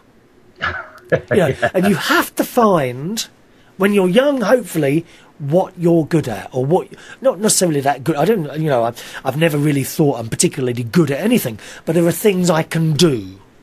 Yeah. I don't know. I've, I've been trying for 47 years to try and find something that I'm good at. I don't, don't think i've managed it yet. Forty-seven years. I'm looking at your photo. You look a lot older than that, mate. Yeah, thanks, Chris. I needed that, mate. I really needed that. I've had a, I've had a bad weekend as it is. Have you? Oh, has it all gone wrong? Has it? Oh, I could bore, but I do on my radio show. I bore people to death with it. But I, my brother-in-law was very kind to give me a car in May. Oh yeah. What, what was I- it? My my car sort of failed its MOT miserably, and he knew, Yeah. like, like all of us, I was a bit stuck financially. But he gave me a Vauxhall Astra. and, Oh, it's quite nice. It's in quite good condition. It's Oh, a, okay, yeah. I don't know, it's a Yeah. SXI or something. But it's been the most unreliable car I've Oh, ever really? had the misfortune to run in my life. Oh gosh. now I've been off the road for about four weeks because it's had some ECU problem. They put three hundred pounds of parts on it, and it still ain't out of the garage. It's still playing Oh. up. I had um, I had an Astra a few years ago as a what do you call it? A backup car. Um, a, a, Yeah, No, what is it now? A courtesy car? Courtesy car. Oh, yeah, courtesy yeah. car. Hated it. yeah. This thing. I'm hating this one now. you know, at the time I had a little Toyota Aygo, and this bloody great red tank turned up. Hmm. And it was just so big and clunky. And it was big in places, and you kind of thought, well, why does that stick out there? You know, the wings were sticking right out. I thought, well, what have they put under there to make those wings stick out so much? Hmm. And it was just, I hated it. Vauxhall Astra, I absolutely hated it. People not say only- that to me. People say that to me on big in places. Now stop it, this is a family-based Sorry. Yeah, quite right. no, the reason, reason why I skyped in, just in case um, people are interested, is next weekend. If I get my car back, you'll never guess where I'm going. Go on, Where? guess. I'm going to Prestatyn, Boyle. Oh, the Pontins. Yeah, believe it or not, they've got um, they've got a thing going on there because it's 30 years, evidently, since they made Holiday on the buses at Pontins in Prestatyn. Oh yeah. Da, da, da, da. I love on the buses. I yeah, that's right. Well, I'm a, I'm a, I sort of liked the group ages ago on Facebook. There's sort of like a fan sort of like page for it. Is it is it still run by Pontins that one? Yeah, yeah. Yeah, because Uh, um, Pontins. I remember when I was a child, and I know you, you, know this. I've often talked about it. We we went on holiday to Pontins every year, a, a Oh, yeah, different one in the country. And at the time, there was a, a big catalogue of, of all these places. Well, I say a catalogue, you know, a holiday brochure um, of all the little holiday camps that they had. This is now much smaller, and it's it's almost very sad, really. Um, I think the the other holiday camps are still going, but they've been bought by various other people and, and changed and this, that, and the other. And Pontins is actually very small now. There's there's, there's nothing like they used to be. But um, we had great holidays at Pontins. Sometimes as a child, I think it's certainly in my teenage years, I was very ungrateful. Very, very ungrateful. Oh yeah, teenagers are very ungrateful, Chris. I was so very, ungrateful Very ungrateful. to my mother and the father uh, for taking me on such wonderful holidays. And of course, you get older and uh, you regret being as you were then. But you can't turn the clock back. You know, there's nothing you can do about it. Now, of course, I appreciate all these things that they used to do. Yeah, I really right. do. But we had wonderful holidays at Pontins, but sadly, you know, not not as big as the company was. I'd, I'd like to go on one again. I've tried to get people to go to me on a Pontins holiday, but no one seems to be interested. Certainly not my best mate Ron, who's just got his nose too far in the air to go on. Such Oh, well, oh, well, no, if he's into the painted uh, ceilings of the back, Vatican, he's not really going to be into Pontins. no, he? he's not really into Pontins. But no, so, so we'll have to see what it's like. It's, it's either going to be quite an eccentric, really um, funny weekend because they've got a coach tour going of all the of all the places they filmed Yes. in the locality. You know, like where um, Olive and Arthur lost all their luggage on the. Uh, I don't know if you remember the Yeah, film. of course I remember that. There was a oh, I was a bit naughty last night at the um, at the Black Cap where I was DJing. There was this girl who had glasses on. She'd come up to the stage and asked for a request. I was like, "Oh, we're playing this one for so and so over there," and I says, "Um, oh." Have you ever seen on the buses?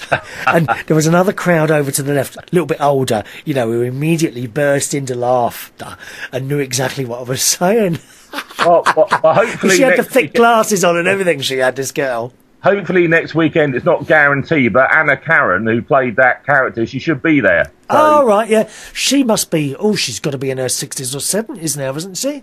Yeah, yeah, she she uh, she must be, but um, I it's, met- it's quite quite funny because through um, Vectis Radio, name dropping as Yeah. I do, um, the program controller there calls me and Elaine. Elaine's like my partner. Oh, really? Um, he calls her Olive and me Arthur because he reckons we bicker so much that we're like the real life reincarnation of them. Is Vectis is that an FM station or just uh, internet? No, unfortunately, it's um, it's just internet. I think where we are on the island, the likelihood of getting an FM license A is very expensive, Yeah, and it's B very- it's very unlikely that we get it because we uh, we've got a commercial station called Isle of Wight Radio, Right. and um, we, we've also got something that a name escapes me now. It's for sort of like plays real sort of old tunes. Um, Oh, Angel yeah. FM, I think it's called. Is there a, is there a multiplex on there or not? Um, not, not on our station, no, 'cause it's the same sort of thing, really. It's run sort of a bit on a wig and a prayer, you know, like we, sort of, we, we get enough advertising in to run from a. No, no, no, sorry, sorry. Uh, DAB, do you have DAB on the island? Uh, well, we do. If you if you're lucky enough to be able to pick it up, I bought my dear uh, beloved partner uh, digital radio. Luckily, it's an FM one as well for Right, Christmas, doesn't work, no. and you don't get a thing, not one single solitary station. No, I mean, I had, I had, uh, I've got it with me actually. I, I've got this little, um, I, I took it out in the end. I've got this pure highway. Um, funnily enough, it's right in front of me here because I'm going to sell it on eBay. I've got this pure highway, um, DAB uh, converter thing. Oh yeah, um, which kind of works with your radio. And I was very disappointed at the performance. You know, I because I, listened to LBC a lot, and I could go almost all the way down to Brighton. LBC is a talk station in London, and I used to go all the way down to Brighton.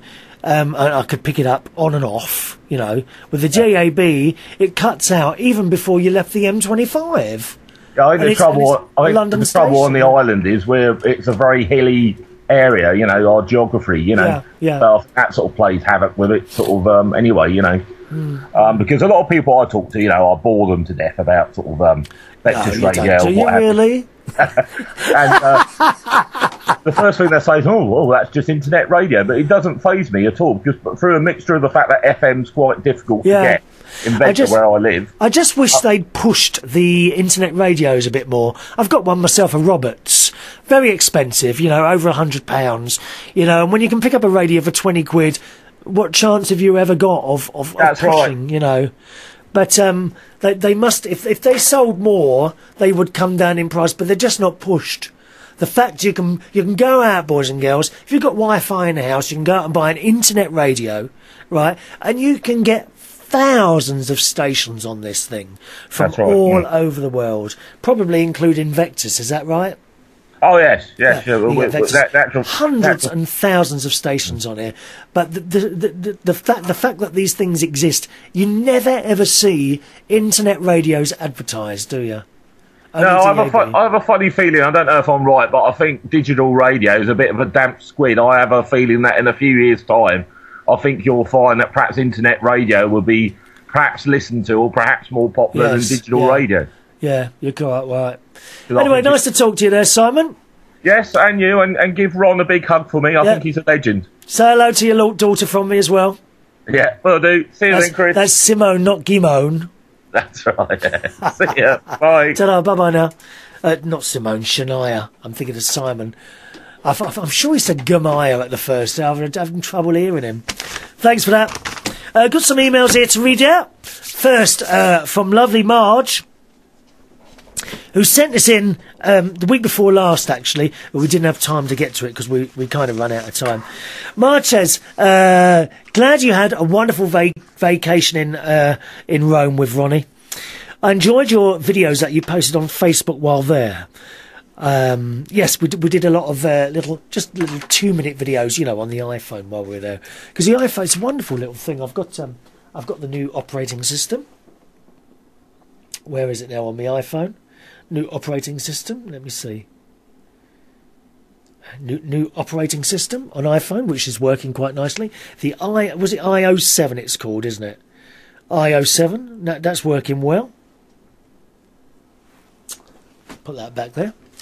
Um, and we did lots of little videos and put it on our Facebook wall. Uh, by the way, if you if you're not with us on Facebook, my Facebook username is Chris Reardon UK. All right, so facebook.com forward slash Chris Reardon UK. Join us on there, and you get all the little updates and all bits and pieces. Marge says, I haven't been to many places out of the USA, except about when I was eight years old in 1968. My family went to Alaska. Oh, it's cold there, Marge. Oh, you wouldn't. I wouldn't want to be going to Alaska. Far, far too cold for me, my dear. We drove from Texas to Alaska for about three or four week vacation. I saw many states along the way. Canadians were very friendly, and one person actually got in the car with us to give us directions. Oh, be careful you get in the car, Marge, dear. You never know who's getting in the car. Oh, you must be careful, Marge. Honestly. My aunt did this the other day. She did something like that, where she said she was standing at a bus stop. And she'd been there a while, and this car pulled up. A gentleman um, in his sort of middle age, middle, middle to sort of, around about 55, I think she, 55 to 60. And he says, where are you going? She, so she says, oh, I'm waiting for the bus to go to, oh, jump in the car, I'll, I'll give you a lift there. And she got in the car. She got in the car with a man that she'd never known before, my aunt, Brenda, Auntie Brenda. So I had to tell her off, dear. I said, you must be mad. You see, but that's, that's the generation. She's 70, 75, 76, something like that. And that generation, you could trust, but I think you trusted people more then. Isn't it a shame that we can't do that now? Trust people so much. Um, Marge says, those days, though, crime isn't like it is today. Yes, that is true enough, I think. I have been to uh, Juarez, spelt J-U-A-R-E-Z, Juarez, Old Mexico, and it was a bit nervous going there. I was told stories that the bandoleros would come down out of the hills and kidnap young girls for use as slaves. I was a kid, so believed everything I was told me. Yes, you would be a slave. You would be forced to do washing and cooking for the rest of your life. Well, same as being a wife, really, then, isn't it? You know, isn't it? She says, you didn't answer the question, who was holding the camera as you took the video of you saying goodnight? And by as Ron, as you walked home alone in the dark. It didn't seem like Ron was holding the camera. Uh, again, this would be one of the little Facebook videos that I put on, uh, on our holiday in Rome. Yeah, well, I must have missed that question. The only thing is, Marge, sometimes you put so many questions on there all the time, my dear, I can't, I don't, I, I miss some of them It gets very complicated sometimes with, with so many questions. I do my best. Who was holding the camera? It was Ron's boyfriend. He was holding the camera. Because he picked him up from the airport and I was just dumped on the side of the street to get home alone. Do you know, I'm to, I'm sure I'm going to sneeze in a minute. Oh dear. I think I might need to have an antihistamine tablet. Marge says, I get nervous as you do when I go to a big city, even our city, Oklahoma.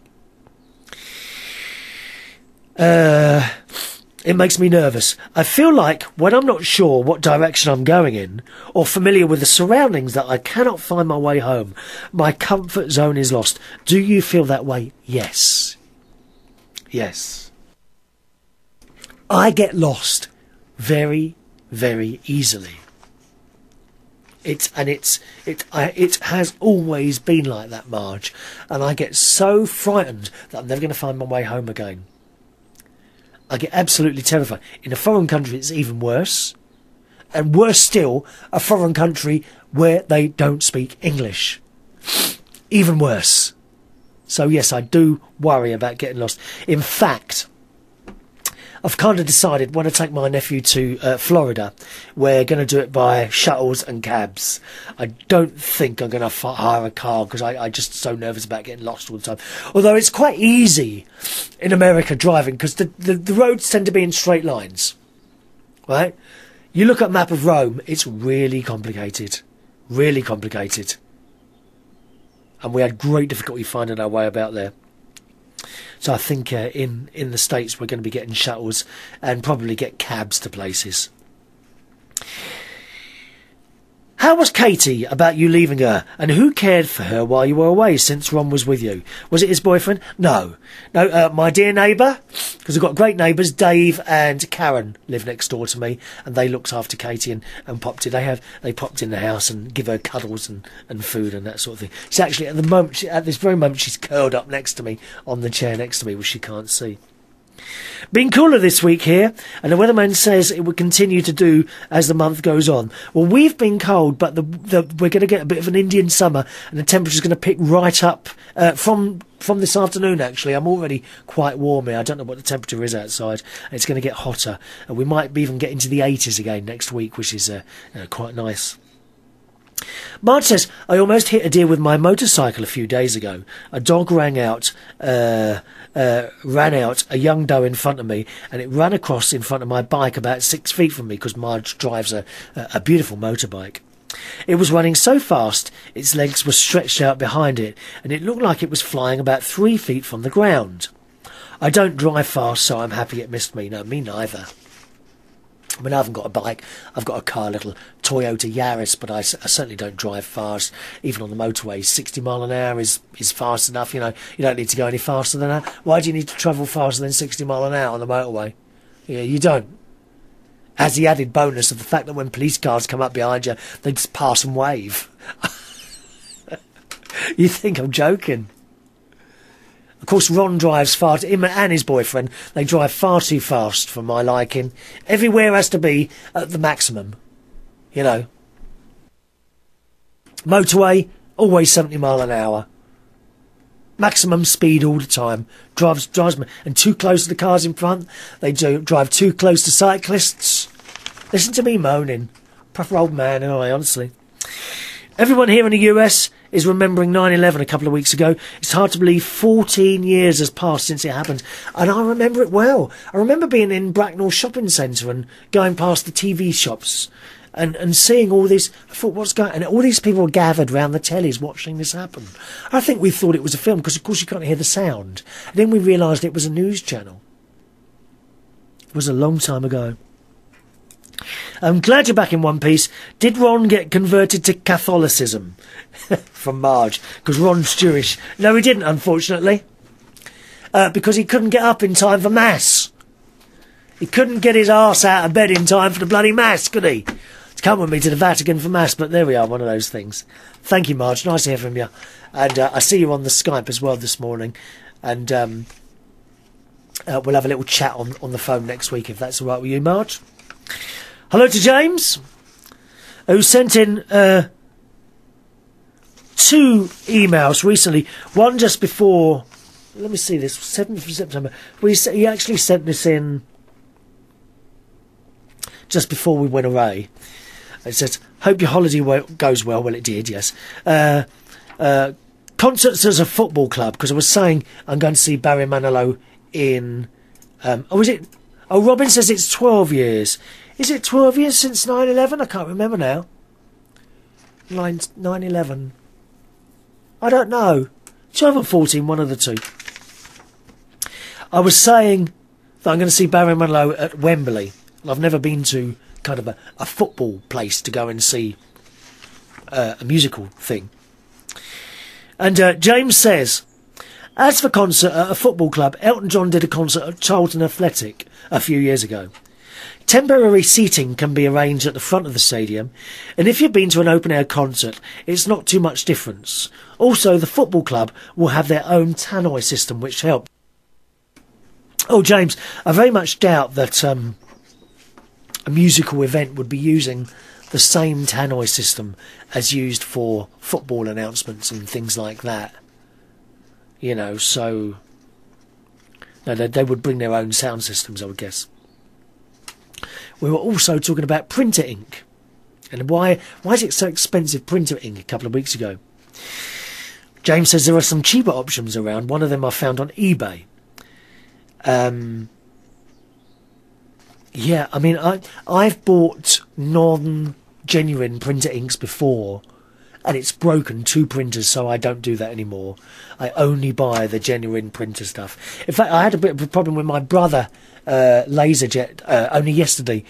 Um, the I, I changed the you know the drum because a laser a laser uh, printer it's a black and white printer a laser drum you have to change after so many hundreds or whatever thousands of copies and the light came on. It said the drum needs replacing, so I put the new drum in because I always keep one spare. And um, the light didn't go out. And, oh, why isn't this light? It's still telling me to change it. So I rung them up, and apparently you have to reset the. Um, you have to reset the drum counter, which I managed to do, and they told me this over the internet. So that was quite good. Um, local libraries. I'm surprised they are still surviving, to be honest. I haven't been in a library for years. I used to go into one in Roehampton where I grew up. Uh, do do people do, do you go in libraries at all? Anyone? Anyone go in a library anymore? How much do you use your library? Perhaps you'd like to answer that one on the email, okay? Email address is chris at unitedkingdomtalk.co.uk. Um, James then sent this in last week. Who says, Hi Chris, glad your holiday um, went okay to the Vatican. Well, it wasn't just the Vatican; it was it was Rome. You know, Vatican was just part of it. The Vatican, by the way, the Vatican is much larger than you could ever ever imagine. Don't think you're just going there to see a big church and a big bit outside. There's a lot more to it than that.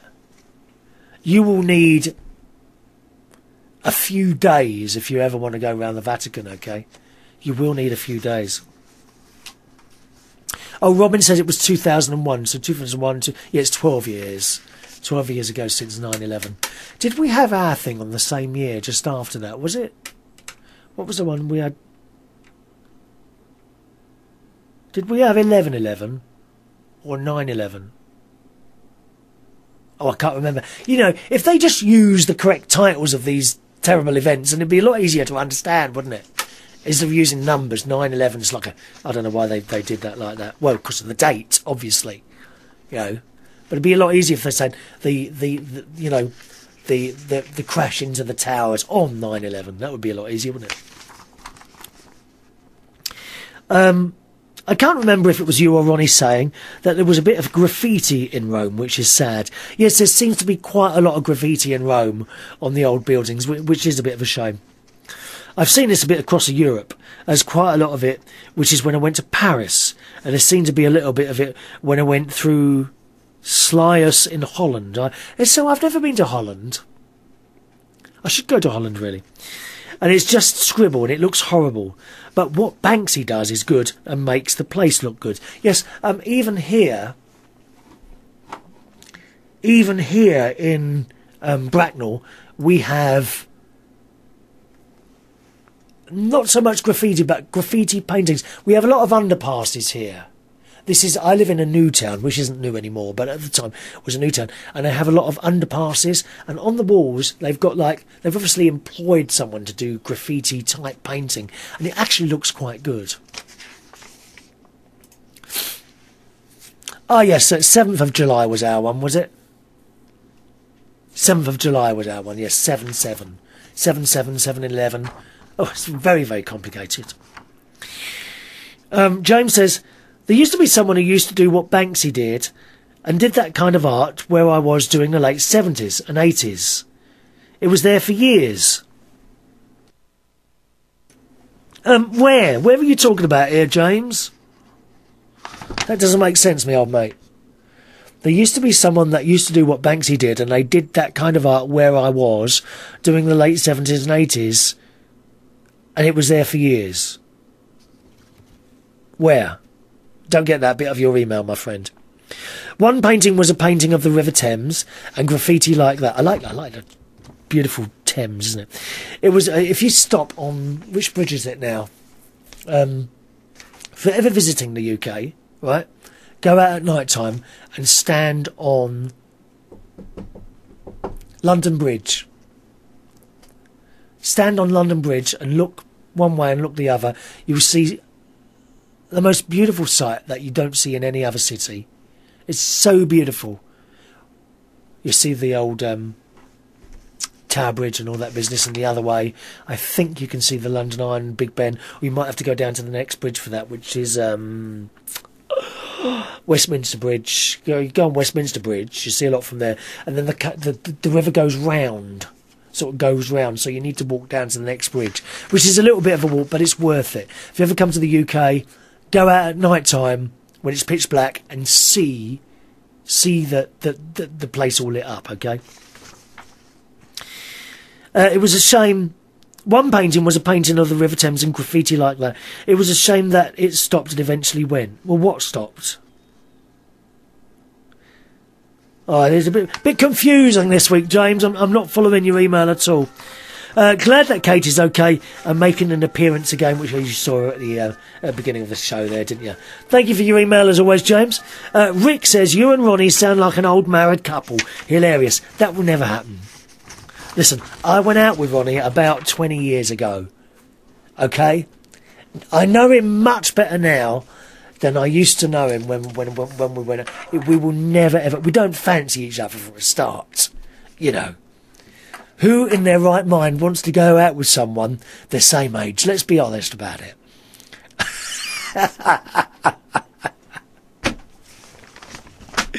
we would end up absolutely murdering each other. We really would. It, it would. It would never happen. It would never happen. He's all right. You know, sometimes he comes round. I don't mind him staying for two minutes, even three sometimes. Anything more than three minutes, is just a nightmare. It really is. So there we are. Uh, well, there we are. And uh, I think that's it tonight, boys and girls. Thank you very much for uh, watching and listening. Uh, it's Saturday, as I say, it's Saturday the, what is it, Saturday the 21st of September 2013. If you're around in the London area tonight in Hammersmith, then I'm doing karaoke this evening, hosting a karaoke night at the Laurie Arms in Hammersmith. Okay, the Laurie Arms in Hammersmith tonight. Karaoke on the Shepherd's Bush Road, 9pm till 1am, completely free to go in there. It's a lovely pub, and we set up in a big conservatory in there. There's a lot of space, little, not too many lights, there's a little bit of lighting just to light up the singers, and there's me pushing the buttons, and I might sing a couple of tunes as well. If my voice comes back, I think you might have noticed my voice is a little bit uh, down today, so that's tonight. Uh, and Mon- uh, Tuesday, uh, Sunday night, also, karaoke Sunday night in North London, so that's West London.